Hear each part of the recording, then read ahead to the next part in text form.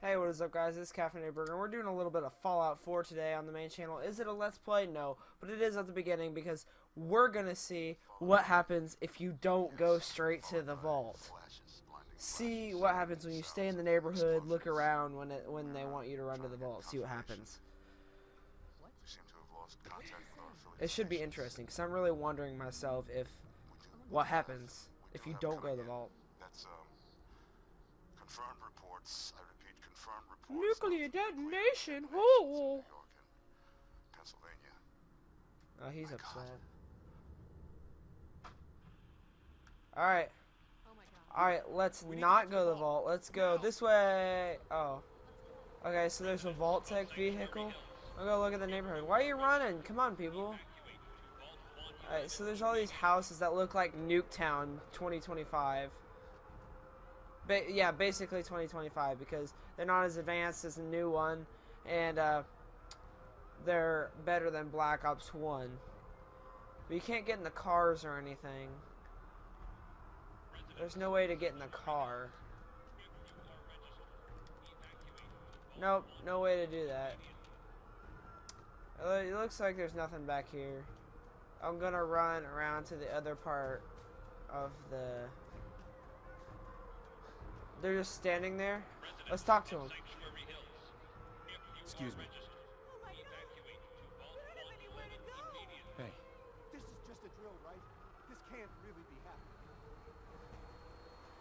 It's tricycle. What is that? Like a like a tank? excuse me. Where are you going? Off the street, citizen.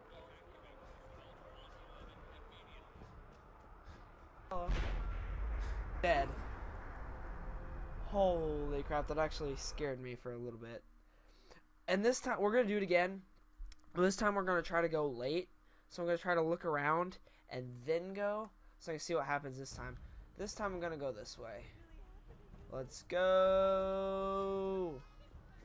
Gotta go fast. Go fast, go fast, go fast. So I. Okay, move. Oh, gosh. Okay, I'm out of. Oh! What?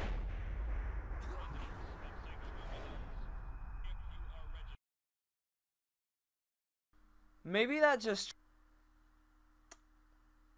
Alright. I'm gonna go the other way, walk around a little bit, then go late and see if it still lets me get in there.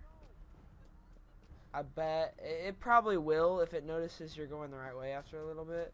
Because I was over here for a little while, way longer than I was over there, and it didn't explode.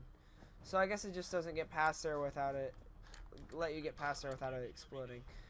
Alright, looks like none of these, none of these open up. So now that I've wasted a lot of time, because most people go directly there at the beginning,